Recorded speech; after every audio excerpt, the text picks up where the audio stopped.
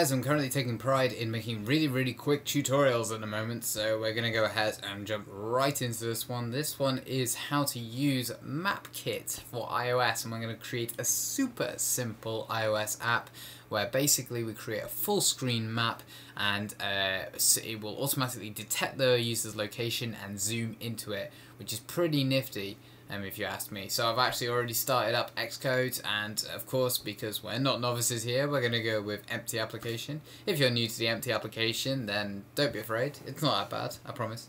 Um, this is going to be called MapKit Demo and we're just going to go ahead and hit next and start up. MapKit How To, I've already made a folder.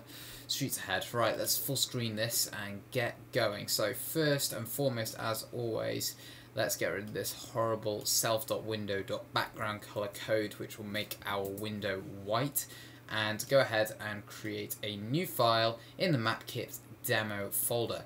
Uh, and we're going to create a class and it's going to be a UI view controller and this is going to be our MK view controller so let's go with that and then hit next uh, that's to cr let's create it in the MapKit demo folder keep everything nice and neat and uh, let's do some bare bones uh, stuff just to get the ball rolling on this one. So in our implementation, I'm just to go ahead and pop in view did load, call the super method, and I'm to set the background color to a lovely brown. um, okay, so uh, now that we've, uh, oh no I'm not, uh, because I spelled color wrong. My bad. Um, Okay, so now that we've actually got our uh, map view controller, we're actually just going to keep everything in one controller today.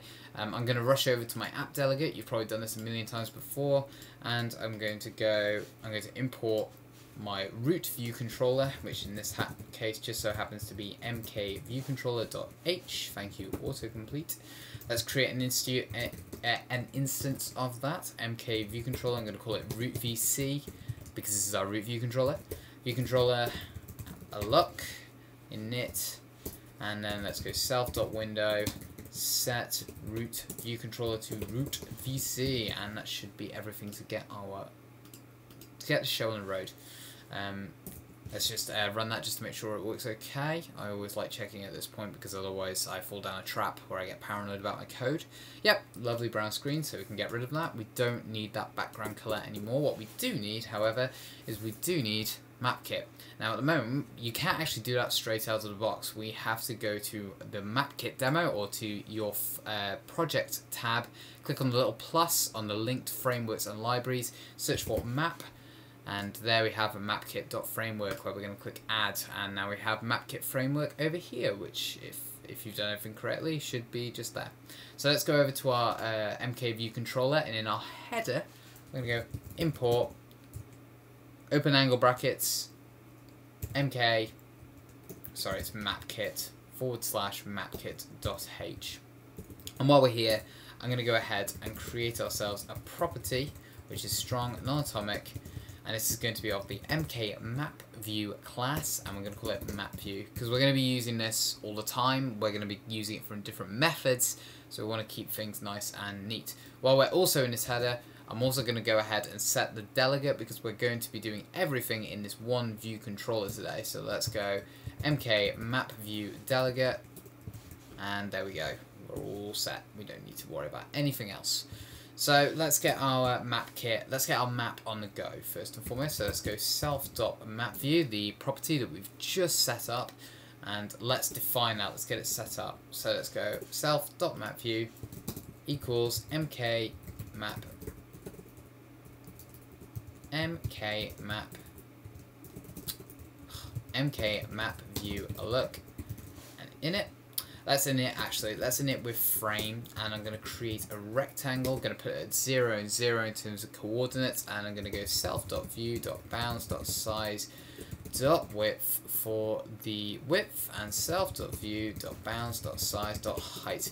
Now in case you've you're a little bit lost here or you're not sure exactly what I just did basically uh, CG make that creates the x coordinate, that creates the y coordinate, this is the width and this is the height. I've set the x and y coordinates to the bottom left or top right depending on uh, where the CA layer is uh, set up, um, but it should be bottom left in this case. Um, and I've set the width to the back to the size of the view, which is going to be the full screen. I've set the height to the height of the view, which again, because the view is taking up the entirety of the screen at the moment, because it's the root view, it's going to take up the entirety of the screen. So that's our map view actually set up. That's literally all the code we need to actually get it set up. I can run this and you will see a map. No, you won't. You won't see a map um, because I haven't added it to the view uh, yet. So before we do anything else and get hasty just like I just did, we're going to go self.view, add subview, self.mapView, and that will add our map view subview to our uh, to our root view. And when we run it, uh, we should now see a map, which we do. Uh, now, a map's all very well and good and everything, uh, but it doesn't do anything. Uh, when we actually set the location to Apple, nothing happens. We don't know where we are. So what we're going to do is we're going to actually change that. So first and foremost, if you're running this on a, uh, if you're running this on your own phone or you're running it from anything other than the simulator, we're going to set this up for you. We're going to set self.mapview and we're going to set set shows user location. There it is. So we're going to want to uh, set shows user location to yes. And what that will effectively do is do exactly what it says on the tin which is show user location. Um, so let's go ahead and run that and we should now see our user location. There we go. It's asking for our current location. Obviously I'm on a computer and it doesn't know that so let's change our debug to Apple. And now all being well there's our dot. There, there we are. Because we are shown, we because we literally just entered in set shows user location. We can now see ourselves. Only trouble is, is I mean I've got to zoom in like a million times before we actually get there, which is no use to me. Um, this is where we actually call up the delegate, um, and we're gonna go ahead and set a pragma mark, uh, which is our MK map view delegate methods. And these are our methods which are obviously going to be set just from MK, uh, MK map view uh, delegate. And uh, we're going to go ahead and set map view did up yet update user location. So uh, we're going to go ahead and set the map view map view did update date user location with the location. So let's go ahead and do that. And we're gonna go we're gonna go ahead and set the uh, map view, so the map view from the delegate uh, and we're going to go we're going to uh, set a region. Uh, so what a region is is it's a small area or an area or a large area of the map um, on, ma on the map kit which you can either zoom into or zoom out from however you want to do it. Because we want to zoom in nice and close we're going to set a rectangle which is nice and close to our uh, user's location. So let's go ahead and go map view set region and we're going to go MK coordinate region with an animation. We don't want to just flick in. If we didn't want, if we did just want to flick in and just make it appear like that, then we can actually go animated no. So what we're going to go ahead and do is set animated to yes. And now we're going to deal with the MK coordinate region. So again, I'm going to open uh, square brackets and go MK coordinate region. Uh, and we're going to go with the uh, region, uh, I believe it's it's region make and we're going to use uh, span. Uh, now I've opened closed brackets here, I was too hasty on that one, you can ignore me on that one, we don't actually need those closed brackets, so we can go coordinate, my apologies. Um, we can go uh, MK coordinate region make, uh, center coordinate and the span. So we can get the center coordinate from the user location that's actually passed into the method. So let's go user location dot coordinate, and there we have our coordinate property. And we're going to have to set up an MK coordinate span, just so it knows how far we want this uh, region to span. So let's go MK coordinate span make, and we're going to set the latitude and longitude. Now, uh, depending on how large or how small this is, basically the larger the latitude and longitude, the further away this region is going to be. So let's set it to 0.1f and 0.1f because these are float values. And believe it or not, we are done. I'm going to load this up. Uh, so we can actually treat this as a normal map, uh, which is great. And then if I go debug, we've just appeared in Apple.